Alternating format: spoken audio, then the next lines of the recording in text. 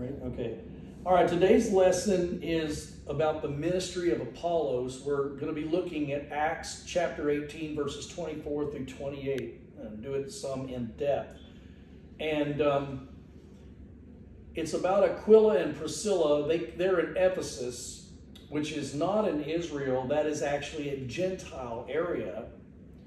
Um, but they are there preaching, probably preaching the gospel, and they run into this man by the name of Apollos. And here's what happened, and here's what we can learn from this. Starting in verse 24. Now, a certain Jew named Apollos, so we know that he's Jewish. Okay? He's, his name is Apollos, and he is a Jew. Born at Alexandria. Now, that's not in Israel. Alexandria is actually in Egypt.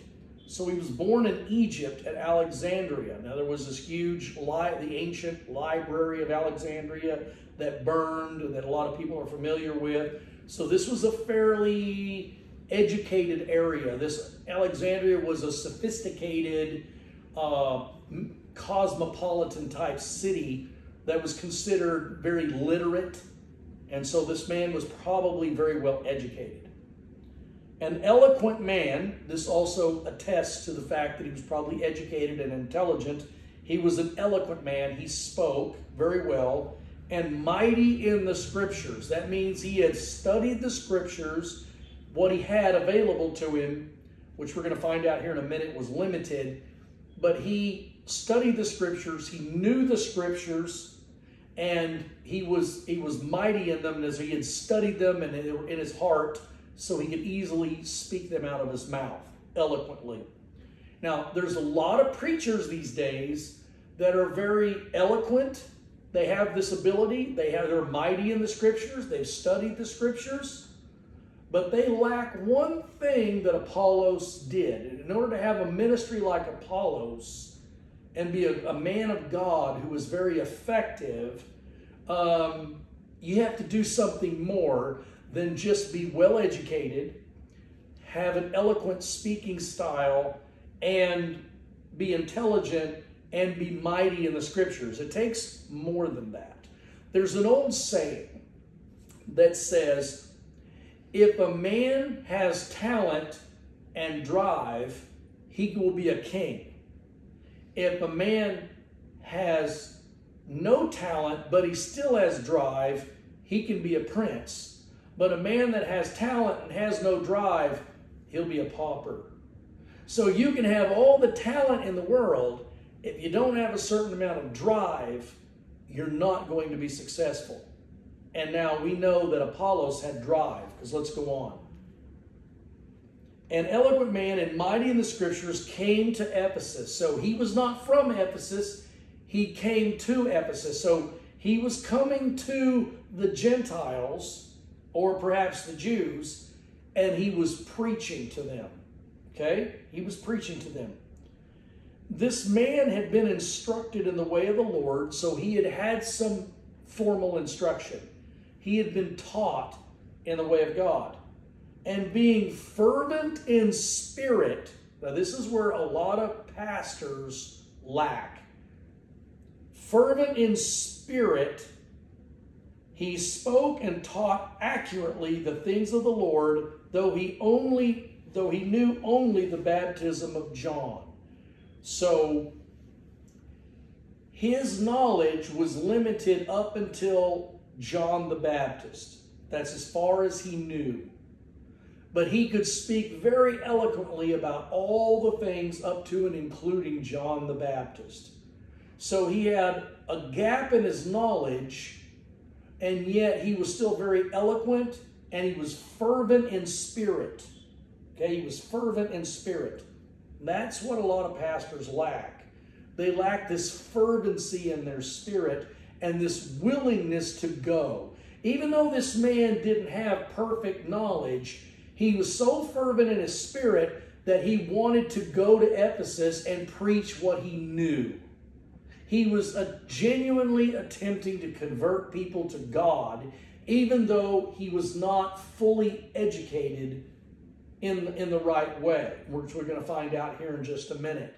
He was fervent in his spirit and he was passionate. He was eloquent and educated, and he took all of that and he used it for the kingdom of God in what capacity that he had. A lot of pastors don't do that. Okay? They don't do that.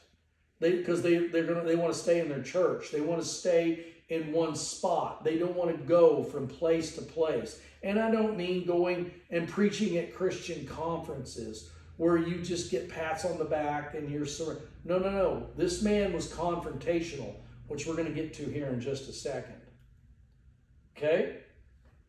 So he began to speak boldly in the synagogue. So he went to the synagogue to speak to the Jews while he was in Ephesus, and he was speaking about the baptism of John, John the Baptist.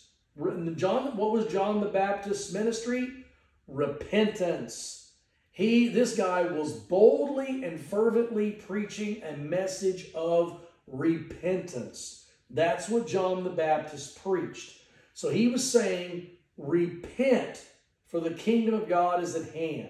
That's what he was saying. That's what John the Baptist preached. He made the way straight for the coming of the Lord. So that's what this guy was trying to do too. Even though he didn't have the full knowledge, which we're going to get to here in a second, he preached based on the knowledge he did have, right? And he was very eloquent about it and he was bold. He boldly preached at the synagogue. And he was bold because he was confronting something. He was confronting sin. That's what you do when you preach repentance. You confront sin. Okay? So that's what he was doing. When Aquila and Priscilla heard him, now this was a husband and wife evangelism team. Priscilla and Aquila had a home church and they were out at the synagogue. What were they doing at the synagogue? You got to ask yourself, why were Priscilla and Aquila hearing Apollo speak at the synagogue? I'll tell you why. Because Priscilla and Aquila did not just have a home church, they didn't just operate in their church at home, they went out onto the streets. Apollos is a street preacher. Priscilla and Aquila were street preachers. They took their message out beyond the walls of their home, which was their church, and they went out to the synagogues to convert the Jews. To convert the Jews. That's what they were doing. Okay? That's why they were there and they heard him speak. They heard him, they took him aside. That means they spoke to him privately. They didn't call him out publicly and, and do like some people do on Facebook. You heretic! You're wrong, you're speaking, that's wrong, you're going to go to hell. They didn't do that. They took him aside and said, Look, dude, you're right on track up until this point, but let us explain what happened afterwards so you'll have the full picture. Okay? They took him aside and explained to him the way of God more accurately and corrected him, and he received it. This is a humble man. Even though he was speaking boldly, he was a humble man. He was willing to receive instruction. Just as he had received instruction from the things he knew up until this point, he was willing to receive instruction so he could be more accurate in the way of the Lord. He wanted to be more effective, so he was willing to accept correction from someone who knew more than he did. That's a humble man. That's the way all Christians should be. That's the way pastors should be. If a pastor is saying something wrong, you shouldn't just stand up in his church and make him try to make him look like a fool in front of everyone. You should take him aside and explain the ways of the Lord more accurately. Okay? If he receives it, he learns from it, he becomes a more effective witness. If not, if he had not received this, Priscilla and Aquila would said, okay, we're moving on. They just dust their feet off and move on. I think I think you could do a whole teaching just on Priscilla and Aquila, you know, being a team. Yes, you know, being a um, team. There's a whole teaching on that, which I might do later. Yeah. Um, Because they were a husband and wife team out on the streets. There's a lot of people that say women should not preach to sinners. And this is proof right here that they can. Okay? They work together as a team to instruct this man. Now, the woman, the wife, was under the authority of her husband, yes, okay? She was not out on her own without her husband's authority doing this, whatever. She didn't have her own ministry that she, you know, no, they had a ministry together. They She were a husband and wife team. He, she was the helpmate, and they went out together and they preached. Women can preach to sinners, okay? This is proof of it right here. Okay? Now, they explain the way of God more accurately to him. And then it says in verse 27 and when he desired to cross to Achaia, so after he learned, he wanted to go someplace else. He took this knowledge and went to another place. Oh my gosh, this guy is just out there preaching out on the streets to everybody, right? So this, yes, that's what you're supposed to do That's with the, the goal. gospel. That's the goal. That's the goal. Is to go out beyond the four walls of the synagogue or the church or wherever and go from city to city, town to town, preaching the gospel. Fill That's up, what he was go doing. and pour out. Yeah, and Apollos later became a more central figure in the church later on, gonna- because there's a whole teaching you do about Apollos' life. But this is the very beginning of when he was actually introduced to the church of Christ. To you know, so he learned more accurately. He took this lesson to heart. He's probably now this doesn't say how long this was. They explained it to him more accurately, and then it says that he desired to go to somewhere else. That might have been days, it might have been weeks, might have been months. We don't know. We have no idea. So he probably took some time with them to learn from them. And once he learned this, because he was an intelligent man and he, he was fervent in spirit, he wanted to learn because he wanted to pour out.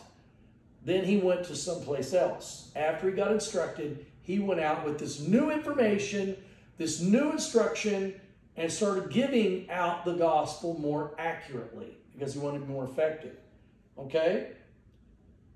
And when he desired to cross to Achaia, the brethren wrote, the brethren probably being uh, uh, Priscilla and Aquila. They probably wrote a letter and explaining this, okay? Exhorting the disciples to receive him. So they probably wrote a letter ahead of him and said, please accept him. He is now part of the body of Christ. He's a, he's a good evangelist, right? When he arrived, he greatly helped those who had believed through grace. So he went someplace and he greatly helped the Christians who were at this other place. Now, how did he do that? Well, it tells you how he did that. He greatly helped those who had believed through grace, for he vigorously refuted the Jews publicly. Oh my goodness, he opened up a can of worms where he went. He vigorously refuted the Jews publicly. That's called confrontational ministry. That's called confrontational evangelism. It has a place in the body of Christ, as it states right here in the book of Acts. He went and publicly refuted the Jews and told them, Repent and be converted, so that your sins may be blotted out and times of refreshing may come from the presence of the Lord. He told them they needed to be converted from the old covenant to Christ. That's what he was doing.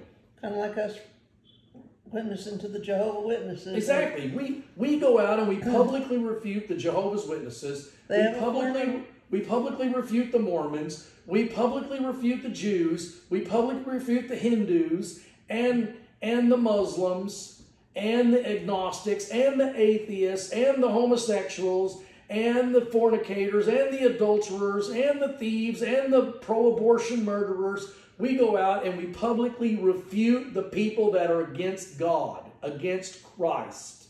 That's what we do. They have a form of godliness, but they, They deny the power thereof. We we do exactly what Apollos did right here.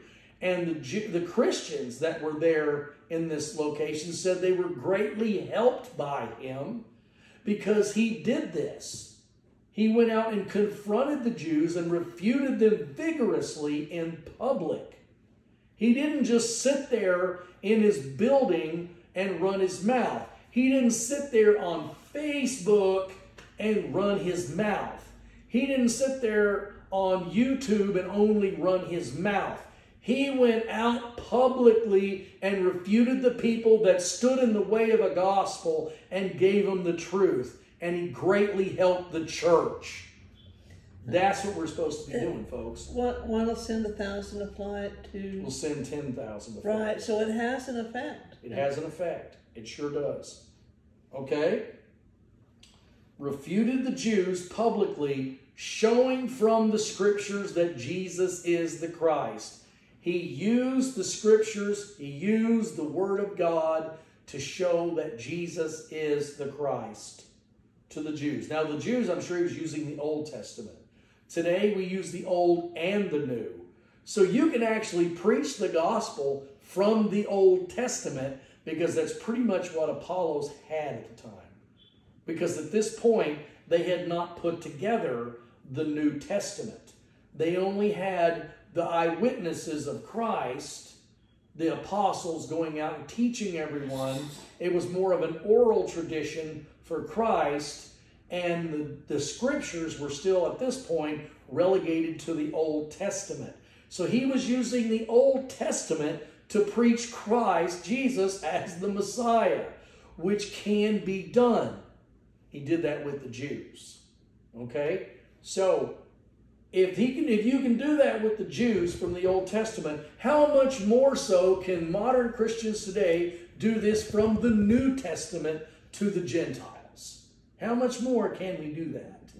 We can. And we need to go out and publicly refute anyone that stands against God with both the Old and the New Testament. All the scriptures, you know, are inspired by God and they're there for for instruction and for reproof and all of that to exhortation. exhortation for lifting people up. And so the scriptures are there for all of that. And we need to go out and use those scriptures to refute those publicly who stand against God who stand against Christ. That's what we need to do. This is a good example of a man who immediately, even though he didn't have the full knowledge, he was still out doing what he could and then he got corrected, and then he went out with that knowledge and that correction. He went out and did it right and was greatly effective at it.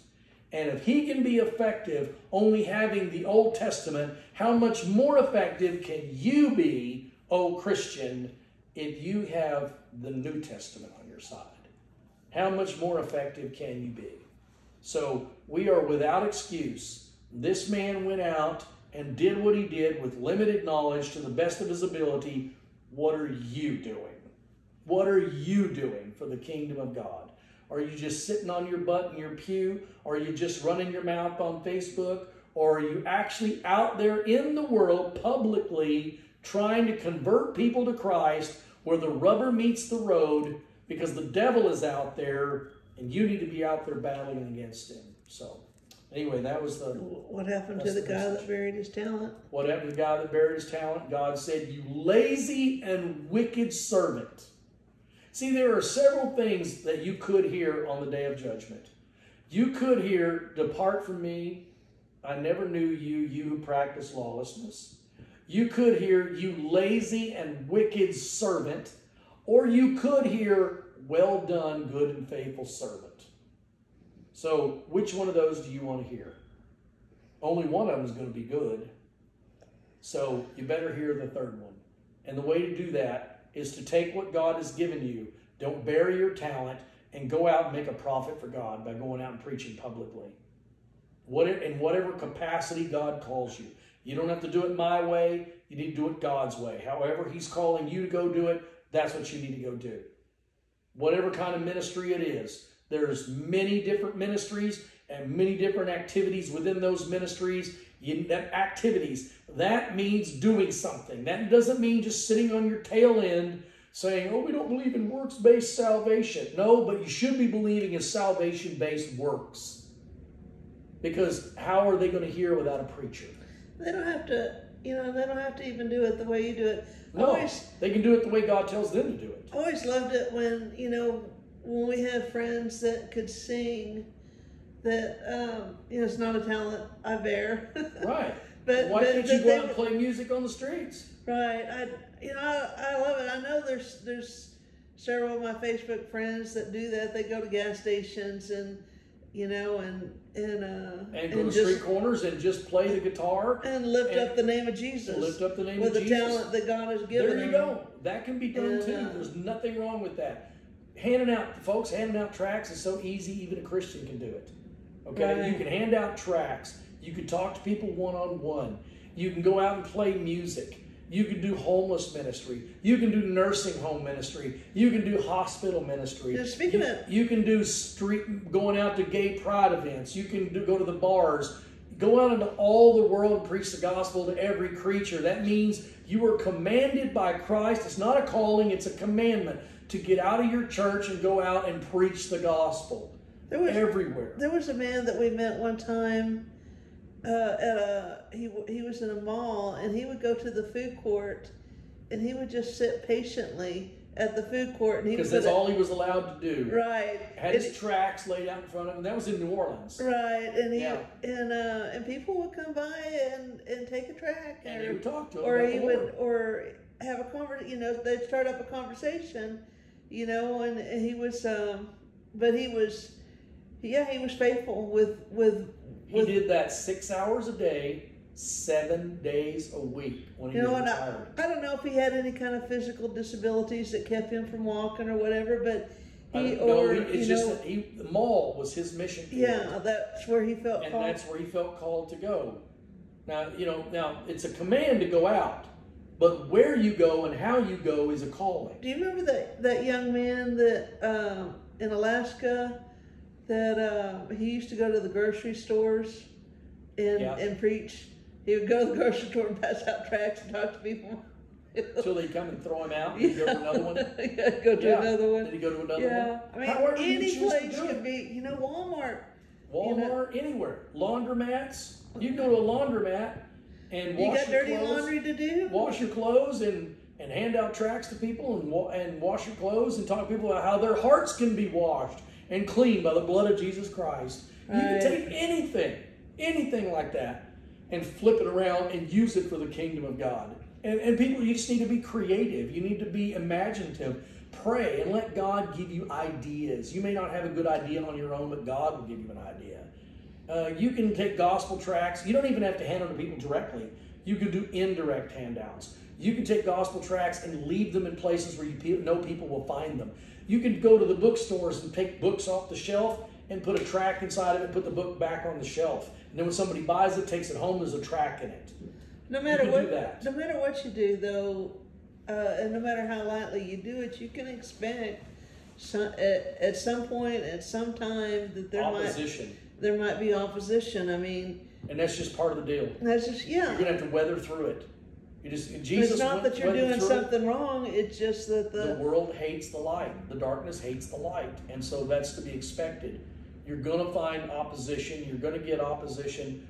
But that opposition, well, you know, there's an old World War II saying uh, with the Army Air Corps, they used to fly over and bomb targets. They said, you know, you're over the target when you start receiving flak. Because when you're over the enemy's target, they're going to shoot back. So when you're being effective for God, you're going to get resistance. Of course, you're going to get resistance because that's the nature of spiritual warfare. And that resistance is designed to make you stop, but that resistance should make you press in, press harder, press forward. Because that is that is evidence, that's backhanded confirmation from the enemy that you're doing the will of God. And that is what you need to focus on. You need to focus on doing God's will in spite of all of that. And when the enemy comes at you, say, Thank you, Lord, for the blessings of the opposition. Because I know when I'm persecuted for righteousness' sake, for your name's sake, I am blessed. Thank you, Lord, for that blessing. And because you're going to get blessed. You remember that man that just totally come undone that one time in front of the bar when all I asked him Was was if I could talk to him about the Lord. Well, And you he- said, you said, you said this. You said, Jesus died for you, or were you willing to live for him? And he lost his mind. He did. He A question. absolutely. Jesus died for you. Are you willing to live for him? Just that one question, and he lost his mind. And his son wanted to beat me up. His son, because you made his drunken father angry by asking a question.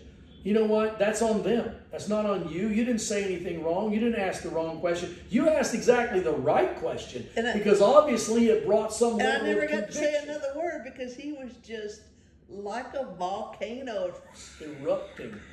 But he got the conviction on his heart that you were assigned to deliver, and that was success. Right. That was success. Our goal Other people may look at that. is to plant, to water, so God will give an increase.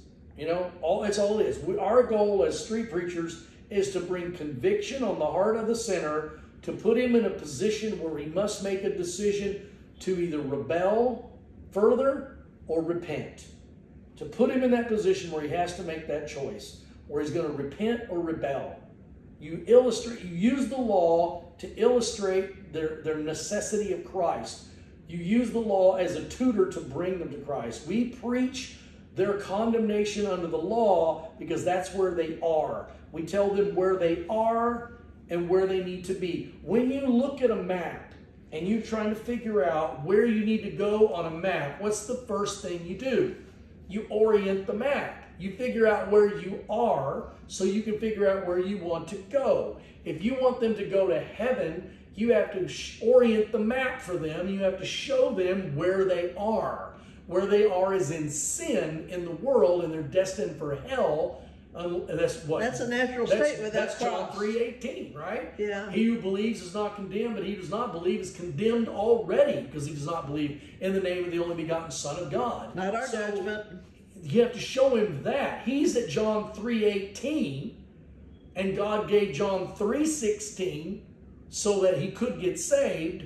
And what you need, and, and then what, what you need is in the book of Acts where it says, Repent, therefore, and be converted, so your sins may be blotted out, times of refreshing may come from the presence of the Lord. That's in that's in Acts chapter 3. So you they're they're at John 3:18. They don't need to go to Acts chapter 3. That's where you're trying to take them. You're trying to take them to repentance so that they can repent and give their lives to Christ.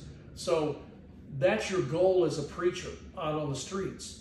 And you're just using the word like Apollos did. He was mighty in the word because he was fervent in spirit and because he had taken that fervency and he had educated himself on what he could and then he went out and preached with the full good intentions of his heart.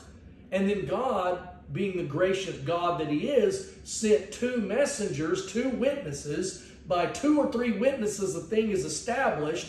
And these two witnesses spoke to him and gave him the correction. He recognized that because he was familiar with the scripture. And then he took that corrected information and he went out and preached the gospel more accurately. He was very effective. That's that. By, by two witnesses. By yes, two witnesses. Yeah. That's right. That's two great. witnesses. Yeah. And so he did that. He did that, and he took that out there, and he went out and preached the gospel more effectively, and he refuted the Jews vigorously in public. That's what Christians need to do. You need to go out and refute those who don't follow Christ vigorously in public. who's who's the more loving, the one that says nothing or the one that says something? Yeah, right. You know what? People always want to say you're not loving, but actually, oh no. you know, I'm more the loving. most loving I'm thing, more loving. the You're most- more loving. The most loving thing you can do is to tell a sinner they're in sin, why they're in sin, and how to get out of that sin through Jesus Christ. That's the most loving thing you can do. But you got to give them the first. The doctor has to give the diagnosis before he can give the cure. You got to orient the map and show them where they are before you can show them where they need to go. You've got to do the first things first, and you use the law to do that. Use the law as a tutor to bring them to Christ. So the law has a function. That's why it came before Christ to convict you of your sin. Then Christ came to give you the cure, to give you the, the remission of sins. That's why. That's why you know those those people that say they're Christian and they go to the gay pride to hug, Hug the all the sinner and and That does them no and- good at all. All that does is enable their sin and further cement them in their sin and just lead them further into hell. Those are the people that are driving them away from God.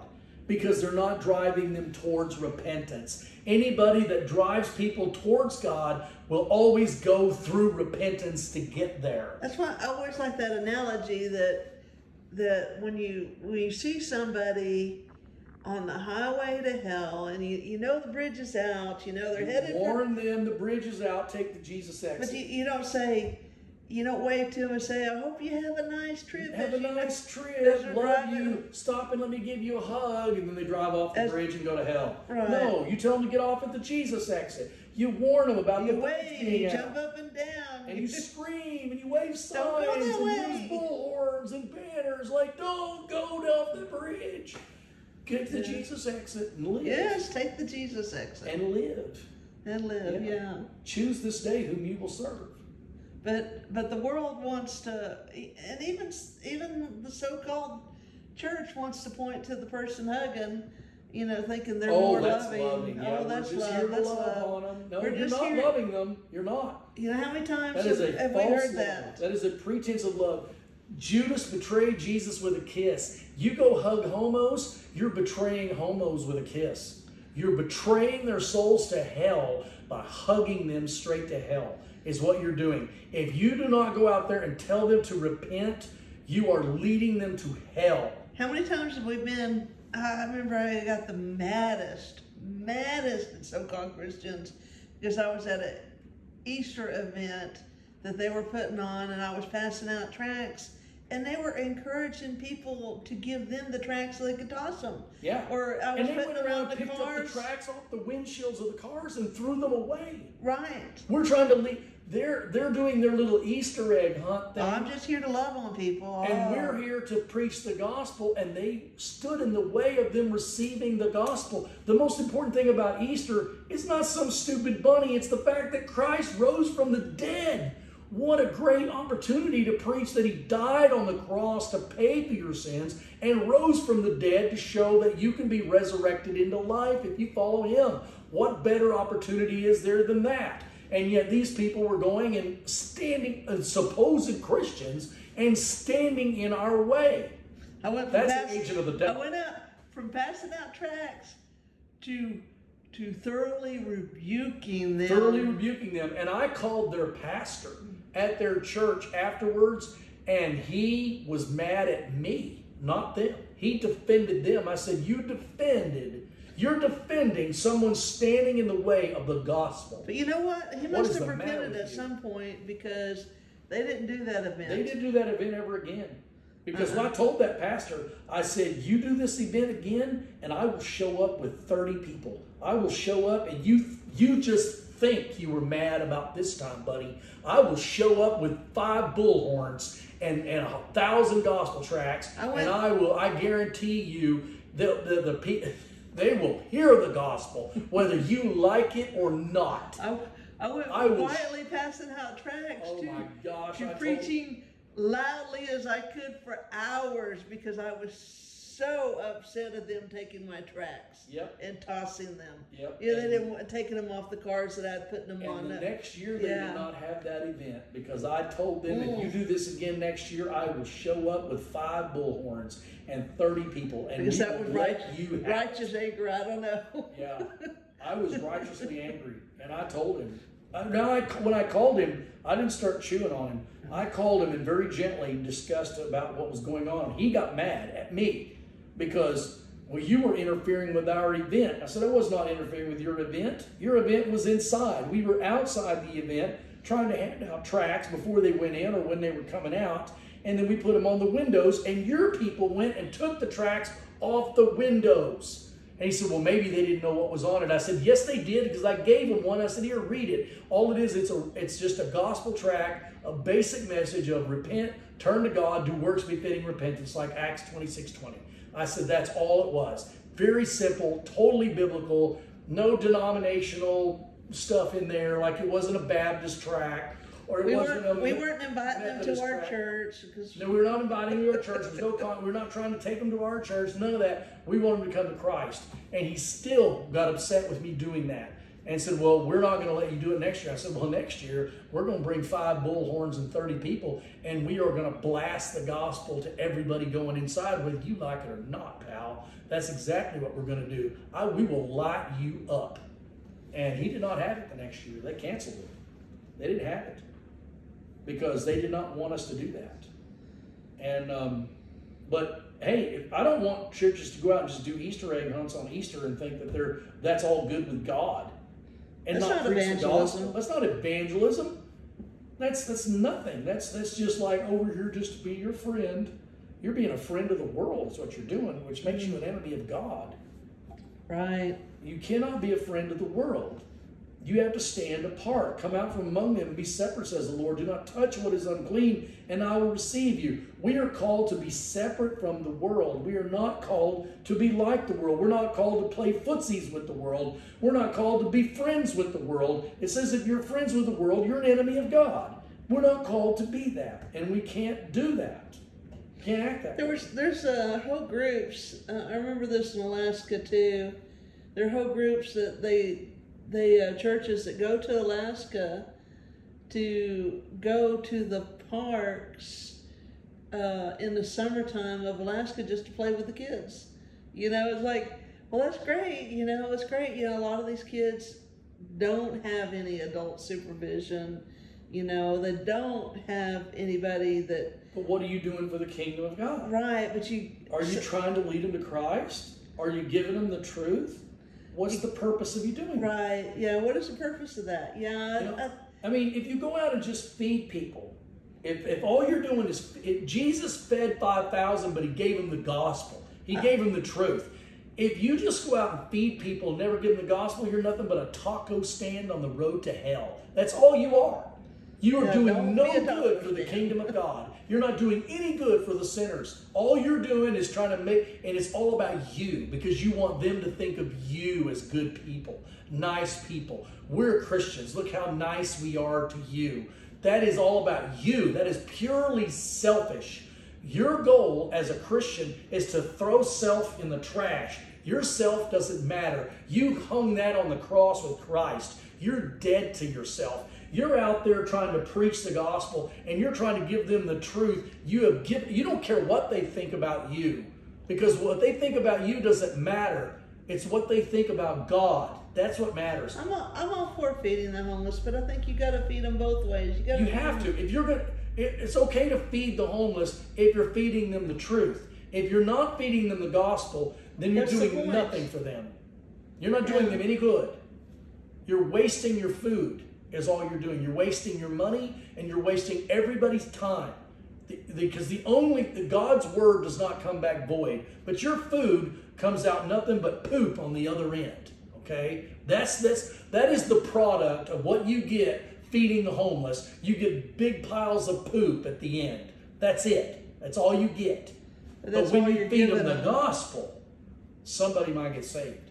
And even if they don't get saved, God is still glorified because if they receive the gospel and they reject it, God is still glorified in his justice. So you, God is glorified either way when you preach the gospel. But God is not glorified when you feed a bunch of homeless people and they just poop it out. It's just a waste.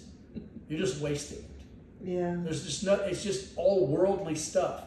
And and I've heard this a thousand times. We got we got thrown out of that outreach at that church, that park, when that church, that San Jacinto Assembly is God. San Jacinto Assemblies of God. Oh, don't say the name of the church? Oh, sorry, too late. Already said it.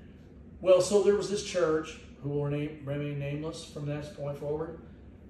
They just said, "Oh, we're just here to love on people," and I was just trying to hand out gospel. That was ten years ago. I'm sure they've grown since then. I hope so. I hope so. I'm sure they're doing good. You know, one of our one of our good friends goes to that church, and I know, I know, And hopefully he has turned them around.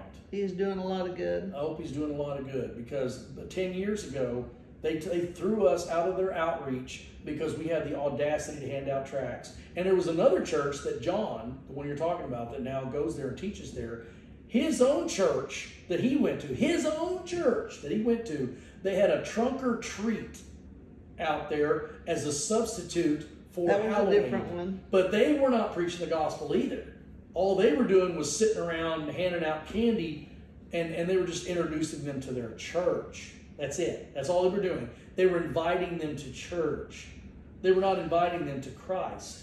And he went out and handed out tracts, and they threatened to trespass him from his own church if he handed out, handed out gospel That's tracts. that's the thing is is that um, you know one of one of somebody that we we know from a long time ago that used to always say this, and I think it's a true statement that you know what you win them with is What you you keep them with. and so you want to win them win them with the word. You don't want to And win the other with stuff bounce is- houses and hot dogs. Other stuff is just bonus, but you know you want to win them with the word because that's that's what's really going to truly keep I don't them have with a problem with using bounce houses and hot dogs if you're preaching the gospel when they get there.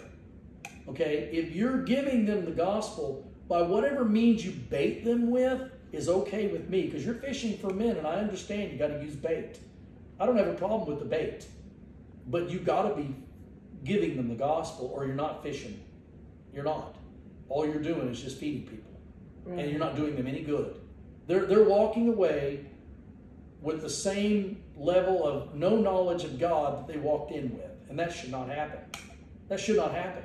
If they come into contact with a church, they need to leave with the gospel of I Christ, sure wish we even still. if they reject it. I sure wish we still had that snow cone machine. I mean, that was a great tool.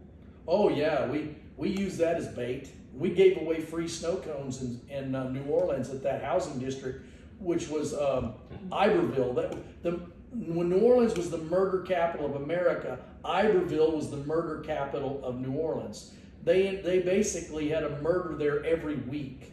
Every week they had a murder at this one housing complex. One a week, somebody got murdered, and and and so we went there with these, the snow cone machine started, and we went with a limited number of flavors, and we made up all these bottles of syrup, and, and we gave out what they called what they call um, uh, well shaved ice, but they call it snow cones, and so we gave out snow cones to the kids, and the kids lined up, and then we handed out tracts, we talked to people one on one about Christ, but we used it as a, as bait to bring people in so they could witness to them about Christ. That's okay. Nothing wrong with that.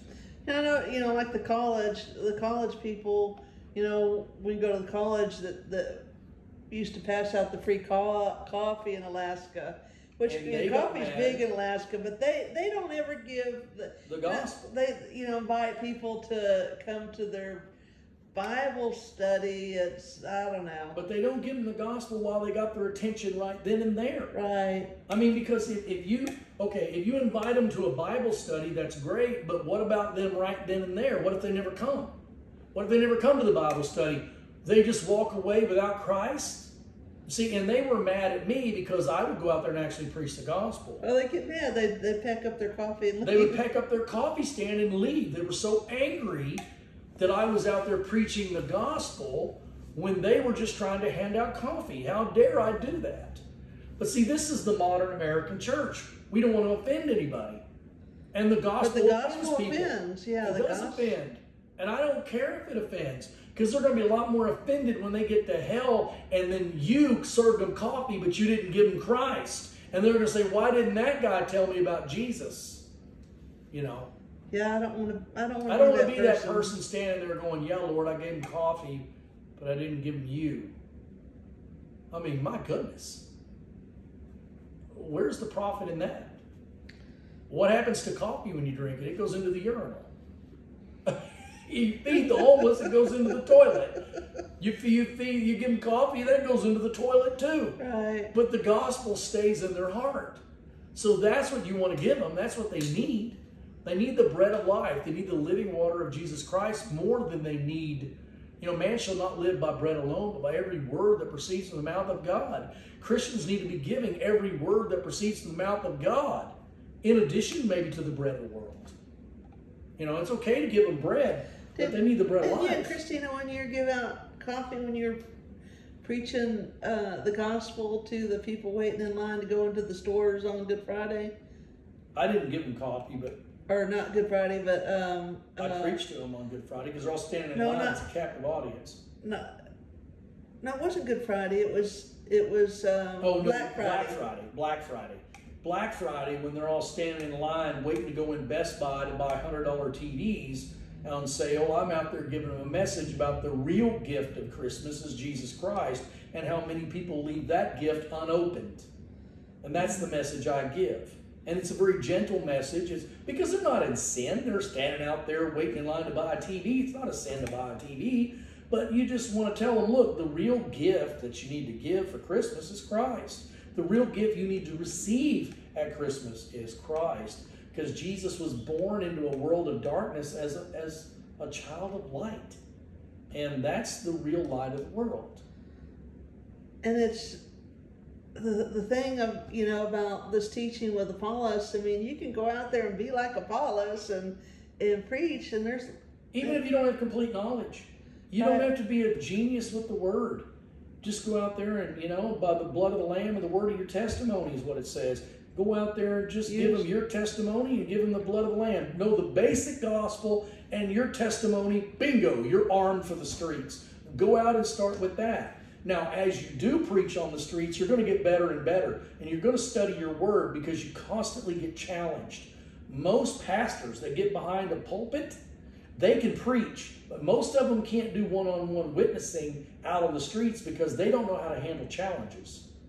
People, you got these atheists and agnostics that come up with some very intelligent challenges, and they don't know apologetics enough to be able to respond to those challenges. But when you're out on the streets, you learn that stuff that's, the that's, hard way. That's why I like going so much with you as a as a team is because if I'm talking to somebody and I, you know, and they have a question that that challenges me, I could pawn them off on you. I, I've done that.